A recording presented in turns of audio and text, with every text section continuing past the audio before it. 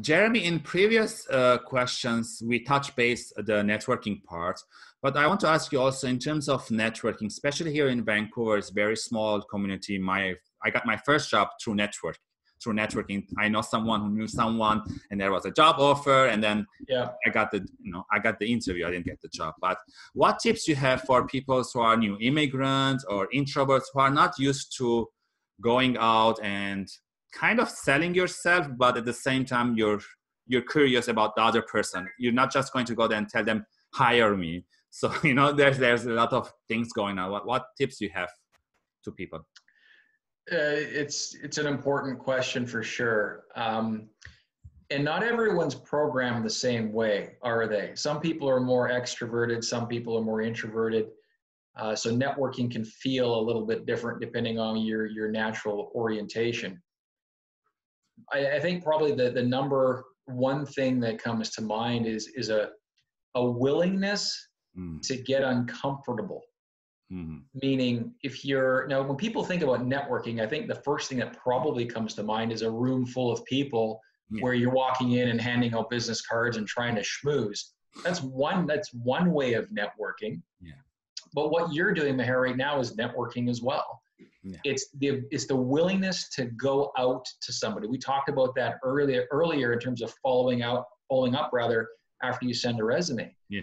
That's a form of networking utilizing social media there's lots and lots written about that but the human skill being able to make a human connection if you're only going into that with the objective of will you hire me you're you're missing the point it need i think again time perspective right the longer your time perspective because the value of your network should compound so, don't just network when you're looking for a job network for the value of your career over a long period of time. And if you're willing to go out to people, work to create value, that people will feel that. You, you can't be, you have to be genuine, you have to be authentic in your networking efforts. So, but get involved. I mean, join your, whatever your profession is, the first place I would start is probably with your industry association. Yes. So if you're in HR, get involved with the HR association. If you're in accounting and finance, it's CPA Canada. If it's supply chain, get, get involved with Supply Chain Council or uh, APICS or, or something. From there, you're going to meet people.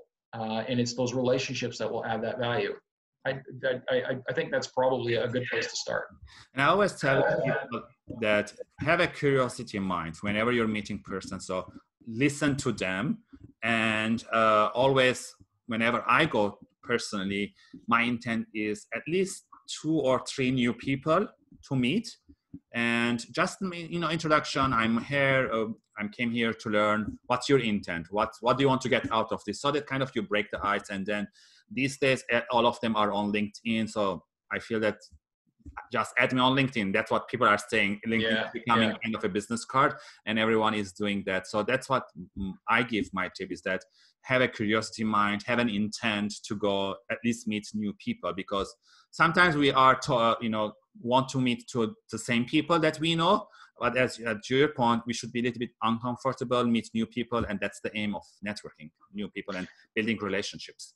Yeah and I, I think be willing to follow up. Yes. So let's let's let's say that you and i had never talked before and we were at a, uh, a, a, a board of trade event or something like that. Yeah. be, be willing to follow up. Send that note on linkedin and then say hey it's nice to meet you feel free to be in touch. Yes that's important for sure and for thank you for that tip, Jeremy. And again, for the audience watching or listening, if you have any other tips in terms of networking, please leave it in the comment section. And tune in next time for my final question with Jeremy.